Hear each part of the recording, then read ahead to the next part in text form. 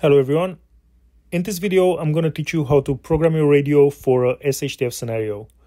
That could be being stranded in the mountains or at sea, some sort of natural disaster, some type of power outage, or even World War III. I'm going to show you what are the must-have frequencies that you need to have pre-programmed in your radio. Stuff like your national calling frequencies, search and rescue, police and EMS mutual aid frequencies, and a lot more. It doesn't matter if you already own a radio like uh, a Baofeng, Quansheng, or any other type of radio. This video applies to all of them and programming them is pretty similar. If you don't own a radio already and don't know what to get, personally I recommend any of these four. And I'm not being paid or sponsored by Radtel, but in my opinion, they're the best radios under $50 at the market. For $26, you can get a radio like this, and you're getting a lot more for your money compared to a Baofeng. This radio has a spectrum analyzer, which is extremely useful in an SHTF scenario. You have USB, SSB modulation, and AM modulation so you can listen to the military airband. 1000 channels and a lot of neat functions and this RT900 has Bluetooth programming and AM modulation, also for listening to the military airband. The RT470 also has AM modulation and does approximately 14 to 15 watts, so it's a really powerful radio and one of my favorites. And the RT730 is a solid radio. I think it looks like a police radio, and it does 12 watts on VHF and UHF. And I think you can go wrong with any of them. I'll be leaving links to all of them pinned in the comments and also in the video description. And I recommend getting them from AliExpress. Personally, I've been buying there for over 10 years and I've never had any problems. But if you prefer to buy them from the Radtel's website directly and you use my link and the code TAC, you can get a 10% discount. Now let's get started. Firstly, I need to say that if you think you can just buy a radio and leave it in the box and you can use it in an emergency by using a random channel or by scanning, you're to have a bad time. And that's because, for example, you can start scanning, and especially if you don't know the frequency allocation table and you start from 136 megahertz, for example, and let's say someone is transmitting at 136.1, you start the scan and he keeps talking, he keeps talking, and he stops transmitting right now. The radio just passed over 136.1, and you'll never know someone was talking there and that is why you need to program these frequencies in advance. This way you can just scan all of the channels or you can go to a specific channel and ask for help or listen for information. Also, disclaimer, transmitting on most of these frequencies is illegal unless you're in an emergency situation. However, listening is perfectly legal in most countries. And this can come in quite handy, especially if there's some sort of incident like the train incident where there was a chemical leak or some sort of nuclear incident. This way, if you listen to the fire department or emergency services, you can get more accurate information versus the news. And also, you can program all of these radios from the keypad directly, and I'll show you a bit later how to do that. First, I'll show you the easier option, and that's using a programming cable and chirp. And you can buy a programming cable for approximately two to three dollars or an even better cable like this one for approximately six dollars. Personally i recommend this one. And i'll be leaving links in the video description once you open chirp and you connect the cable to your radio and power it on you need to select the correct com port after you click download from radio so in this case is com3 then you select the vendor and the model of the radio and you press OK. After it finishes downloading, you can delete the pre-programmed channels that came with the radio, so you'll have a blank slate. Now, in terms of frequencies that you actually need, in Chirp you can go here and you'll find a list of frequencies like all of the marine channels, PMR channels, GMRS channels, calling frequencies, etc. You can add this later, but for now we're gonna start with the calling frequencies.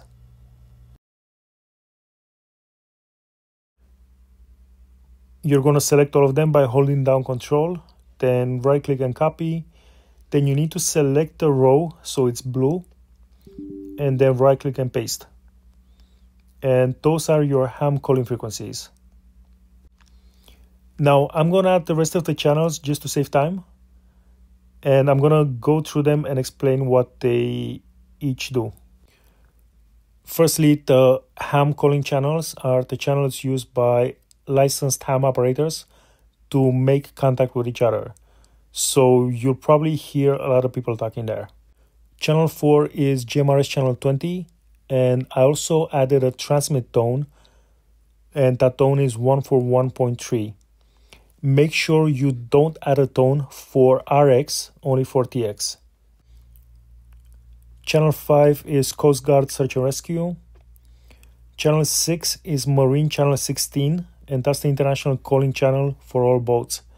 So if you're in an emergency and you're near water, you can reach a boat or the Coast Guard. Channel 8 Air Emergency is the international distress frequency for airplanes, and 243 megahertz is the NATO air emergency frequency. As we get into channel 10, VCALL, the V stands for VHF, and it's the National Mutual Aid Calling Channel. The rest of the channels, VTAC stands for VHF Tactical. Channel 15 is VSAR, which stands for VHF Search and Rescue. Again, it's the National Search and Rescue frequency.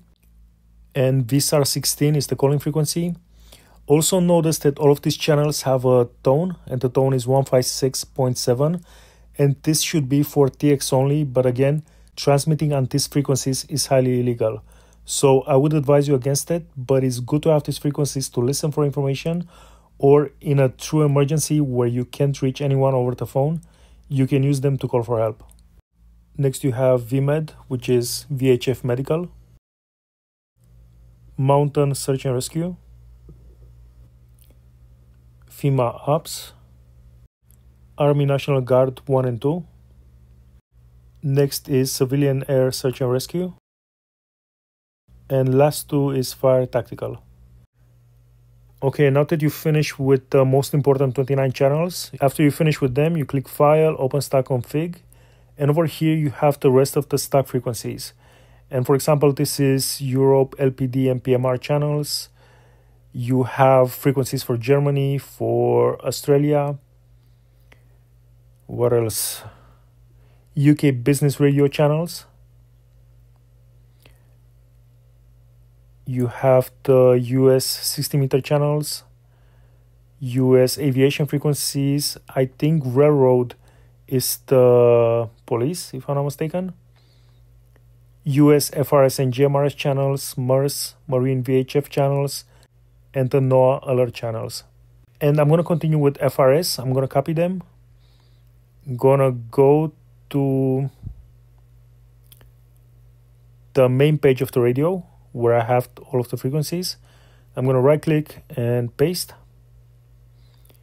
And now I've added all of the FRS and GMRS channels and also the repeaters. That's why you can see the offset. Now going back to file, Open Stock config, I'm gonna select MURS and it's only five channels. Right click, copy, main page, right click and paste. Now again file, Open Stock config and I'm gonna add the US Marine channels, and I think it's like 80 of them. So you wanna control and select all, copy, right click, and paste.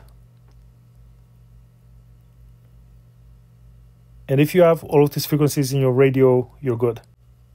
Now, most radios already have the NOAA channels, but you can also just add them just to be sure. So I'm gonna copy all 10 of them. Gonna go back to the main page, right click, paste, and now I have the NOAA channels as well. With all of these channels pre-programmed in your radio, you should be good in any emergency. However, if you want to find more local frequencies, you'll need to go to radio reference. So once you go to radio reference, you click databases, RR database, you can just select near me but since I don't want to show my location, I'm going to click browse. Okay, now you get the map and from up here you can select your country. So if you're from a different country, you can find your local frequencies. But I'm going to leave it for the US and I'm going to select Florida.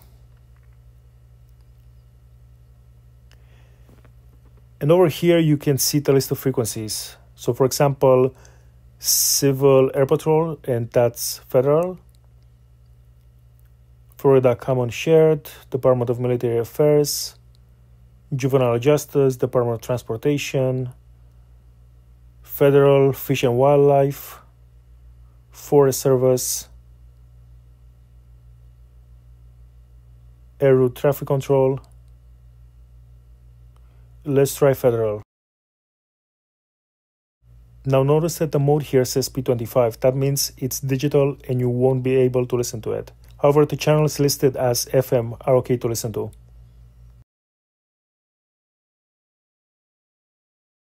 Okay, I'm gonna go back. Civil Air Patrol. And over here you can listen to all of the frequencies that aren't P25. And there's a lot of them. A majority are not in the airband, so you can actually transmit on them as well.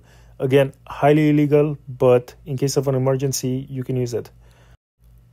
Now, what you also want to do is add some local repeaters.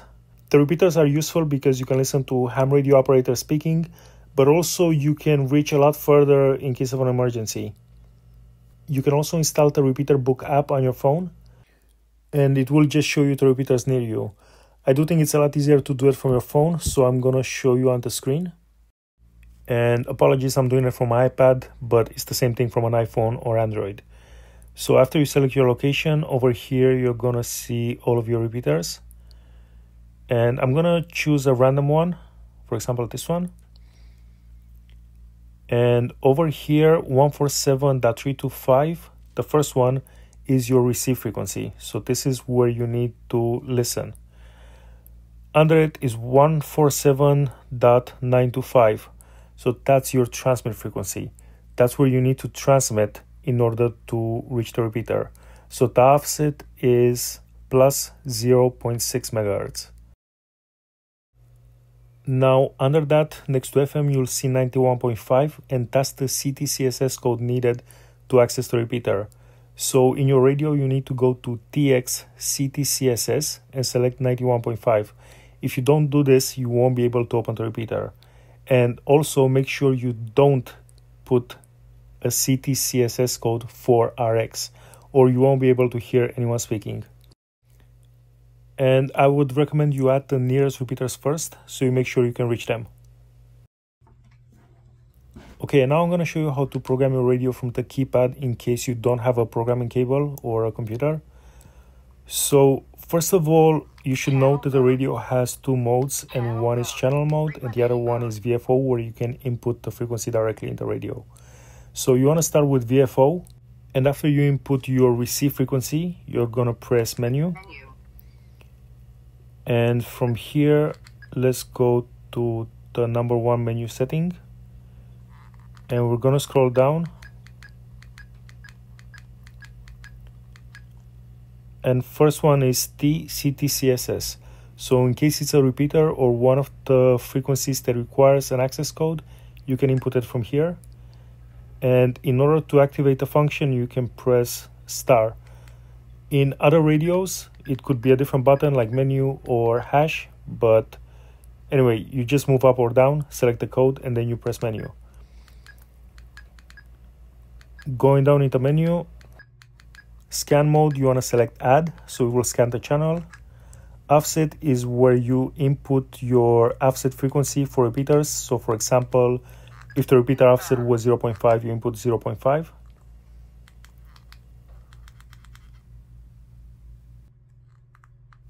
And you click menu to save. SD stands for step direction, so there is where you're gonna select plus or minus. In the case of most repeaters, it's going to be a plus, so the offset will add 0.5 megahertz. And then you need to go to store channel. You select the channel number where you want to store it. You press menu and we'll save it. then you need to go into channel mode from the main screen and then when you go back to menu you're gonna be able to edit the channel name. And after you're done you press ok and that's it.